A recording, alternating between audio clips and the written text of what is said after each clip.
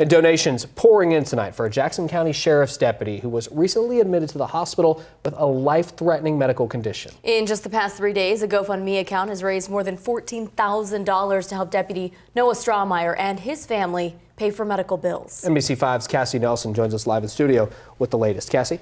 Deputy Strohmeyer is a 10-year veteran of the Sheriff's Office. Family, fr family friend Patricia Landfair says the 34-year-old is an amazing father to three young kids, a devoted husband, and a highly respected public servant. Strohmeyer was hospitalized last week for what they thought was pneumonia, but it turns out he had congestive heart failure. He was put in a medically induced coma, but Landfair says his condition is improving. He has been taken off of life support and he's breathing on his own. So it's small steps in the right direction. Um, he's not out of the woods yet. It's going to be a while. Landfair created a GoFundMe page to help with the family's medical bills, and money has poured in from all over the nation. In just three days, the page has been shared 1,300 times and raised more than $14,000.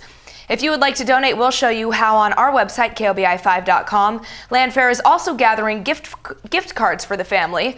Whether it be for groceries or meals out, those can be left at the Sheriff's Office on Crater Lake Highway. Get well cards for Deputy Strohmeyer can also be dropped off there. Live in the studio, Cassie Nelson, NBC5 News.